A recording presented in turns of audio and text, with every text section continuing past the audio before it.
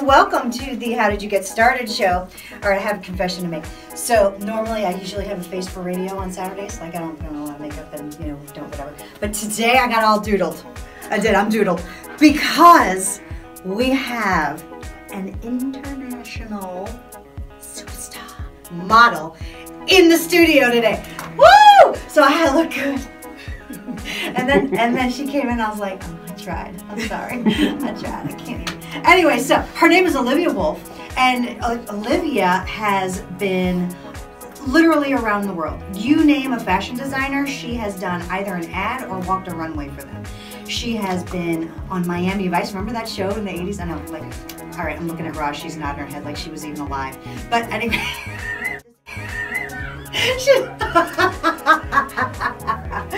oh my gosh. Um, so anyway, so Olivia has done some really amazing things in her career, and we uh, we met because a former guest of mine, who's also in the studio, you're not gonna hear his voice today because he had a show. Um, Mark Phillips was on. He was an international man of what did I call him? Mystery. Man. The most interesting man. Most in the interesting men in the world, something like that, right? And um, so they are. Um, they are each other's loves of their lives, and they're so cute to see together. But anyway, so Olivia was at was speaking at an event this last week. I watched her presentation. I was like, "Girl, you need to be on my show," because she's doing some really cool stuff. So we're going to talk about that in the second segment. Normally, I ask how you got started on the thing you're doing now in the first segment, but a lot of people are, really interested in the modeling thing because I mean, when they hear the stuff that you've done and the people you know. So if you haven't been to howdidyougetstartedshow.com, go there. You'll see pictures of Olivia with oh, I don't know Tyra Banks, Calvin Klein. Maybe you've heard of these people. I'm just. Um, there's an ad for Liz Claiborne that she was in a magazine for, so you'll see those um, at the website. So Olivia, welcome to the show. Oh my God! Thank you so much. What an intro. I'm humbled. Thank you. Oh my gosh, well, I'm so happy that you're here. All right, so we're going to start with how did you get started with this international modeling career? Let's start there. Oh my God! You wouldn't believe it. Well, let's let's see if we do. So I um I actually was uh, I was on a scholarship at FIU for pre med, What's FIU? Florida International University. Okay. And uh, I was in a pre med program. I have a lot of doctors in my family, so I had to follow in the footsteps. That my whole family has engineers and doctors and prominent people. And uh, in my third year, I couldn't commit to the seven more years. It was just not in my book. I couldn't. I've seen my family and like, no, I can't do this. And so I was at a loss because I couldn't transfer my credits to another degree unless I had to start from scratch. Mm. So I said, oh my God, what am I going to do? And oddly enough, I ran, into this gentleman who said, why don't you think about modeling? I said, no way. I would be, I would be shone from my family. I would be the black sheep. so he took me to an agency and they signed me up. I guess my timing was right. And then right, right away, I, my career started taking off. Um, couldn't believe it. First job was uh, they flew me to St. Thomas. I shot an ad for Mickey's Wide Mouth Beer. It was like five thousand dollars. I was like, oh my god, I can get used to traveling and getting paid. Wow. Soon after that, uh, they were flying me all over the United States. I was in Milwaukee doing Miller posters. Uh, they flew me to New York. I got a campaign for brown sugar pantyhose. They had me on every package of the of the uh, the stockings. It was sold in all all the uh, the uh, we call these uh, grocery stores. Uh, no, the uh, drug stores. Mhm. Eckerd's, Mhm. Rite Aid, Woolworth. I don't know if you guys remember Woolworth. Yeah, you do. Woolworth. English. Yeah, yeah. And uh, some of the department stores back then there was Burdines, now bought up by a Macy's. Mhm. Soon after that, I uh, I got uh, casted for speaking parts. I was in uh, I had a brief uh, role in Running Scared with Billy Crystal Gregory Hines. Picked up in um, Michael McDonald's video Sheriff Sweet Freedom, Free Freedom. Mm-hmm. And then um, they had me read for a part as a lawyer for Miami Vice. Mhm. I had to do research. They said uh, back then we didn't have uh, computers, so I had to go to libraries and say, so you would have you'd have to be a, uh, uh, strung out on some kind of a substance, uh, I guess, to drugs. Mhm. So I'm like, how do I act like that? So I could study that. When I got the part, this is funny. When I got the part. Uh, I was in my Winnebago. They passed me the sides. Sides are your lines. They go, uh, Miss Wolf, would you have like, would you like some orange juice? Oh yes, please. They handed me my pretty much uh, Miss Wolf, they need you on the set. When I got on the set, they had somebody of my skin tone that was, they were doing lighting, so she was my stand-in. Okay. I met the director and he said, hello. Um, you look beautiful. Thank you, sir. He goes, well, you're going on, uh, you're going on here, but you're supposed to be strung out at a house. So you take a national commercial with On TV? TV with no makeup. So I told my mother um, a week after it aired, oh, you did, you missed my episode. it was not on. So that's, that's uh, so and then funny. after that, it just took off. I was traveling all over the world. I was modeling on the, it's called the fashion circuit. Mm-hmm. It starts in New York. You do New York Fashion Week, then London Fashion Week, um, Spain, Greece, Italy. And I just caught up, caught up in it, and I started doing it for 25 years full time. Wow. 25 years Yeah, of 'cause- modeling. well, because I crossed over from commercial print Mhm. to fashion to television and film, so I did it full time. Wow. And I had to have agents in New York. I was with Ford's in New York. I was with a, a new group in Spain. I was with Glamour in, in, in, uh, in France. I was with uh, Donna in Italia. I was with, uh, uh, I can't remember the agency I was in Greece. So they kept me busy and had me flying all over the world pretty much. yeah. Wow. How many languages do you speak? Uh, I'm trilingual. Je parle français fluemment. It's my mother tongue, French. If you consider Creole, because I'm Haitian American, that's also a dialect. And because I lived in Spain for a while working, they force you to speak Spanish. So yo hablo español muy bien. That's awesome. I. I wanted to. I just had to ask because you've been all these places. That's so cool. You have to, and especially if you want to succeed in the business, you have to really, out of respect, you have to pick up the language. And they appreciate it, especially when I did catalog for the Germans. Ich spreche ein wenig Deutsch. They loved it. Oh, wie geil, wie geht's? Good. so they would hire me a lot for, what was it, um, um, Quelle, there was a magazine, it was a huge Quelle. The money was great back then. Uh, they didn't pay you in euros, they paid you in Deutschmarks, which was twice as much as dollars. I love Deutschmarks. And England as well was a dollar and a half, so I love the pound. I still do. She just glanced over at her at her at her wonderful man who's from, England. So and now he's all blushy, like anybody can see him. He's so they're so cute. I am blushing. All right, so you know what was fun is I think one of the things that you said that's a takeaway really for everybody is that if you want to succeed in the business, you need to do business the way that the people that you're working with want to do business with you. You know, a lot of folks that listen to the show are they have businesses or they're entrepreneurs and that kind of thing, and um, and so we are going to be talking about events and, and doing business events and stuff in, in a little bit. But that is that's something that's that's that's important to remember. And I mean, you went to the effort of learning Oh, yeah. multiple Well, languages. my base was Miami, but I was living in foreign countries all my life. I was living out of my suitcase. In fact, I was lucky enough to be one of the first models to have uh, visited the Galapagos Islands. Oh wow! Yeah, we did a whole campaign there. We were only there with the geograph- ge- geologists, they call them in America, geologists. Mhm. So yeah, I was fortunate. We were there and we visited an island that was formed two weeks prior from a volcanic eruption. Oh wow! So it was pristine. We had sea lions and iguanas. I mean, it was just beautiful. wow, that is stuff your time. I know it was 25 years, so I'm asking. This is this is probably not the easiest question in the world, but what would you say was one of your favorite experiences, your favorite shoots, your favorite? Oh, my God. Yeah, I know. There's a lot. I have, well, okay, one of them was uh, they flew us from Miami to Bahamas. Back then, they used to do mini movie commercials. Mm-hmm. This was for, for Peter Stuyvesant cigarettes. Back then, they did ads for cigarettes. Mhm. So they flew us to Miami. We filmed entirely at the uh, Atlantis property. Mhm. And they, uh, right after that, they paid me 20 grand cash before leaving. One of my favorites. Second one, they flew me, which was really odd. They flew me from Miami to, to London. Mhm. I met up with the team there. There was one mother model from England, the other one was from Australia. And they flew us to the island off of Spain called Mallorca. York is beautiful. And it was for a catalog very similar to Sears called Littlewoods. And we were at this, I mean, we had our own, we were up in the mountains, we had our own place. It was surrounded with goats, we had a swimming pool, we had maids.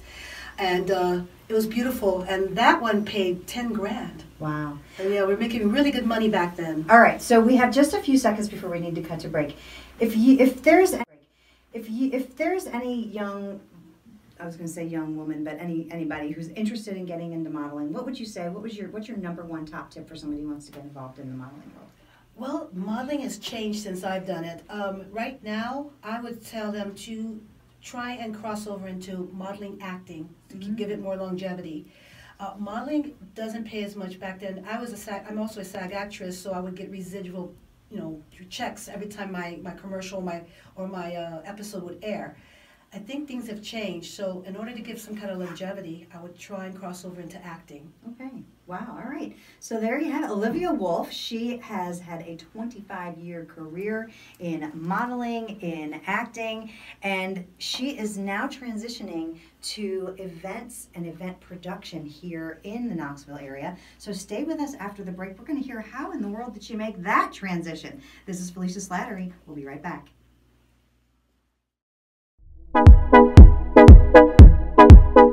Olivia Wolf, she was a model and actress for more than 25 years.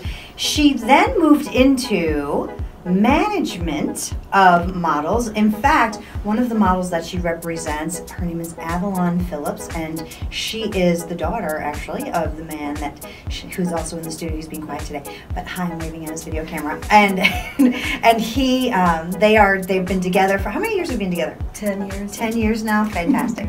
and so you've watched Avalon grow up, and Yeah. and now you started representing her, but also other other people. Is that right? Yeah. So Wolff Management is the name of that that Right. Um, I when I tra- when I quit modeling, being for the camera, I decided I wanted to become an agent. Uh, I was I was um, hired by a, a talent agency in Boca, who asked me to develop their print division.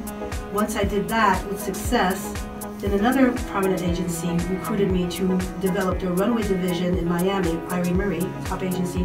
Most of their models were featured in the Versace campaigns.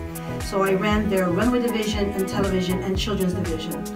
Then after that, I got into publication where I worked on a private island called Fisher Island. One of the members had me develop their magazines, which got into, this is when I got into um, doing events. They had a demographic of millionaires. Their re- readership was, uh, their worth was between 1 million and up. Who owns Fisher Island? Oh, good question. I think members, they have, it's a joint. Oh, I see, a it's a membership, joint, okay. yeah. It used to be the uh, retreat for the Rockefellers and the Rock, and the Rothschilds Right. back in the day. And so all the billionaires, actually Oprah had a place there. Oh. We saw her around with her Rolls Royce. It's- You have to access it from the mainland through a ferry. So one of the members approached me, and because I had the magazine was called Sophie Magazine, South of South of Fifth Island Magazine, and because of the readership, everybody wanted to advertise with us. We had these Lear jets, these limousines, the, uh, the luxury um, watches. So I would put down, I would put events together to for these advertisers so they can get in front of this readership. So that's why I started doing really high-end events. Also, um, after meeting Mark's daughter, who was a model, I mean, actually she was an aspiring model. The first time I met her, I invited her down when she was 16, and I gifted her a professional photo, shoot. Since then, I decided why not help the new the new grad. So I opened up Wolff Management, and since then I've been representing talent in New York, Miami, and in LA. And I reached out to all my contacts, and I, I monetized all my contacts, my relationships with casting directors, the producers, all the designers. So I, I until today, currently, I still run. I hire girls doing New York Fashion Week. They do uh, hair shows for Wella, for Coty. Uh, I have Avalon right now in Miami shooting uh, uh, a campaign for a new designer, and also she is doing a hair show. And uh, I also do a lot of work in LA. A lot of um, I'm actually also working on reality shows. I know. I'm being submitted for a reality Yes, I show. have. I'm, submitted to. I'm always looking for celebrities. I do feel that I have a gift of helping launch careers in the business due to the fact that I have experience and I still have great contacts. In first name basis with a lot of the casting directors and the producers. That's excellent. You know, something else that you said that is a great takeaway for anybody listening is don't forget the people that you've worked with in the past. Those are your those are your networks, and actively build your network. One of the things that I love about you, Olivia, is when um, you're so warm and you're so friendly, and uh, and I like the moment you meet Olivia, and I'm looking at, at Roz right now. The moment you meet Olivia, is she not like your instant best friend? Right? she is. Right. I mean, just like she, you feel like you've known her your whole life. She's just a really um, warm, wonderful, welcoming kind of person. Love you. No, timid is not. No. I didn't say that, did I? I don't think so. Right. Uh, so, but that's you know for everybody continue to build that network because you can constantly reach back to people that you've worked with in the past and say hey by the way i'm not doing that anymore but i'm doing this thing. Who do you know? Or how can you help? Or or how can i help you? And and it's it's a really really cool thing. All right so so you're doing you're doing the this management and modeling and acting agency Yes. um, wolff management. And why did you decide and how did you get started doing parties Well, again, remember I told you I was working here in knoxville Well, I've noticed there's a there's a there's a niche here. There is a demand for it. I've attended a few events, and I realized that they I could I could probably contribute. Mhm. I can help out. So um, why not? I, I used to do them with my eyes closed. I have signature uh, event themes that I'm really good at. That I, I, helped launch a lot of the uh, the um, brands. They're getting recognized, and I find out why not Knoxville? This is a great area to start off. I can bring my little touch to it, which is you know a little international flair, and we'll see how it goes. I would love to be able to uh, help the community. One of your signature events is a Casino Royale. Casino right? Royale. I'm real. First of all, my uh, my significant other looks exactly like Daniel Craig. He and does. He's, and he's a real Royal Marine, which is the character that James Bond plays. Mhm. So I have that. I have the table roulettes. I do the whole nine yards. I have even the uh, karaoke with all the songs from the, the all the. Uh, the James Bond movies. I've got oh, it's, it's brilliant, and people love to dress up with their bow ties and have that little day of fantasy where they're in the in a an environment of mystery and danger and spy, you know, it's, Right. and decadence because it's always elegant and over the top. Oh, how fun! Yeah, it's, that's one of my signatures for Casino Royale. Now, what? So, what kind of uh, what kind of group would have a Casino Royale event? Oh, uh, corporates love to do that. Mhm. Corporate events. They would like to. They would give me a budget, and then I would put it together. And I also love to work with. Uh, I have. Um, I've uh, signed up one of the best DJs in the, in the town. Have you ever heard of DJ Roz? I have. She's amazing. she produces this show right here, right Talk now. about getting the party started. oh my gosh, she's great. And not that, not only that, she's eye candy to look at. She is gorgeous. she is. So She is the truth. she brings, she brings a lot to the table. yes, I'm DJ Roz, everyone. You want to Oh get the party started? That's yes. it. Yeah. Oh my gosh, we are having fun today with Olivia Wolf from Wolff Management and now Wolff Productions. Wolff Management Productions. Yes, they're all of this. They're both merged together in order to help brand. So we brand whether it's uh, getting you into the. I use my media contacts. Whether it's local or national, I will use. Uh, I do events to launch your brand, your message. I get it you. I get you in front of your um, demographic and get your message across, and let the masses appreciate who you are and get to know you and get so you're front of mind, so you're recognized. Mhm. So that's what I do, branding. Uh, well, you know, it's funny. I was, I, I believe in branding fully. I attend a networking meeting with this old fuddy-duddy dude. That not and not anybody that you all know. It's a different meeting, and because you're all of a sudden everybody in the room is like, "Ooh, who is it? Who do we know?" no, no, no. This and he's and he um, he always he "Branding- is dumb. I didn't think branding. God, I'm like, well, so why is branding important? I know the answer to this, but I'm gonna ask you because you're also a branding expert. Why is branding important? Branding is important because you have so much competition out there and you need to set yourself apart. And what makes you different is your brand. What makes Felicia different? You tell me. Oh, right now? Yes.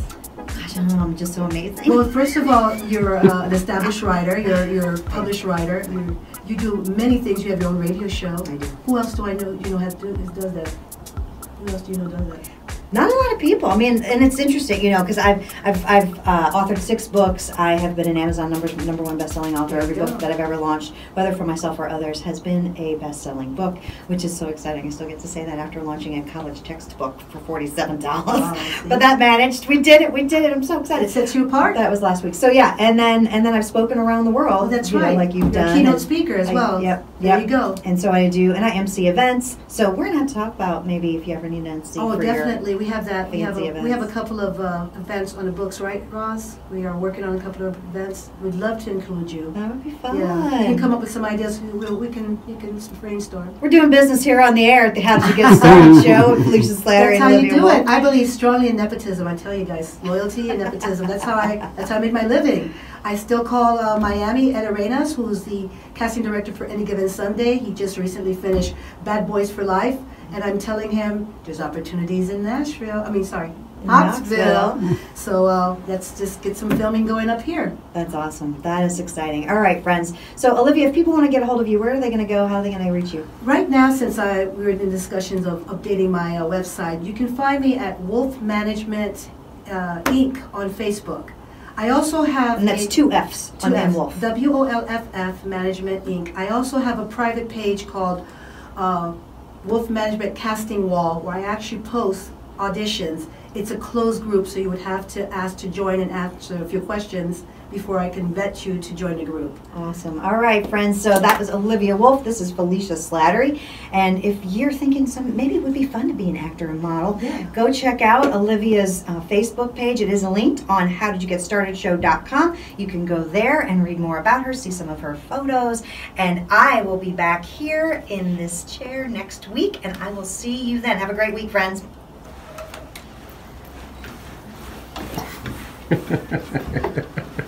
Bye, Felicia. Bye, Felicia. All right. Thank you, Felicia. That was great.